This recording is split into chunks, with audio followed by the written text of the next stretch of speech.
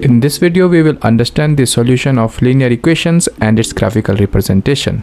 Linear equation in one variable is in the form ax plus b equal to 0 where a and b are non-zero arbitrary constant. Let us consider 2x plus 10 equal to 0 as the example of a linear equation.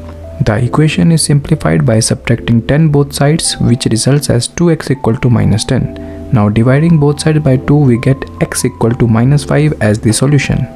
Graphically, the solution is represented by a line parallel to the y-axis such that each abscissa or the x-coordinate always remain equal to minus 5.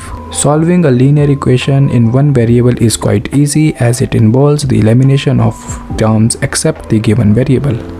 But if we have to deal with linear equation consisting of two different variables, Linear equation in two variables is in the form ax plus by plus c equal to 0 where a, b and c are non-zero arbitrary constants.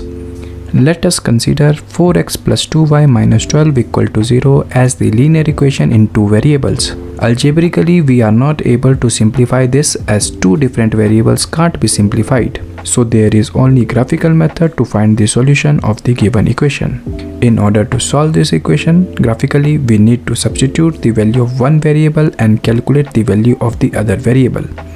As variable can take any real values, but for the ease of calculation, we must prefer integers. On transposing our equation for y variable, we get y as 12 minus 4x upon 2. On simplifying different values of x at 0, 1, 2 and 3, we obtain values for y as 6, 4, 2 and 0. On plotting these coordinates on a graph, we obtain a straight line. As a line is of indefinite length and contains infinite unique points, so each point on the line behaves as the solution of the given equation. Thus, we conclude that a linear equation in two variables has infinite many solutions. If we extend our approach to a pair of linear equation in two variables, there exist three possibilities for their solution.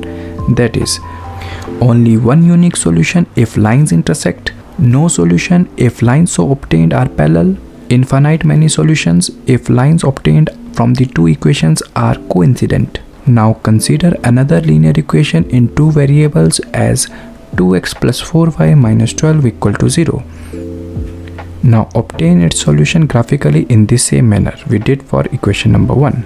We get a line intersecting the line 4x plus 2y minus 12 equal to 0 at coordinate 2, comma 2. The coordinate 2, comma 2 is the only unique solution for the pair of equation 4x plus y minus 12 equal to 0 and 2x plus 4y minus 12 equal to 0. There are algebraic methods to simplify such pair of equations. Let us understand the first algebraic method which is called the substitution method. Continuing with the same examples, if we substitute variable x by the rules of transposing from equation number 1 as 12 minus 2y upon 4, on substituting variable x in equation number 2 we get 3y minus 6 equal to 0 which on further simplification gives us y equal to 2. Now put y as 2 in any of the equation. For now, let us substitute it in equation number 1. On simplifying by the rules of transposing, x is obtained as 2 Thus, x equal to 2 and y equal to 2 is the only solution of the given pair of linear equation. We have one more method called elimination method to simplify such equations. Under this method, we need to eliminate one variable out from both the equations. In order to eliminate the variable, we need to make the coefficient of that variable equal. Let us try to eliminate the x variable. In order to do so, we need to make the coefficient of x variable equal by multiplying it by 2. So equation number 2 is multiplied by 2 both sides.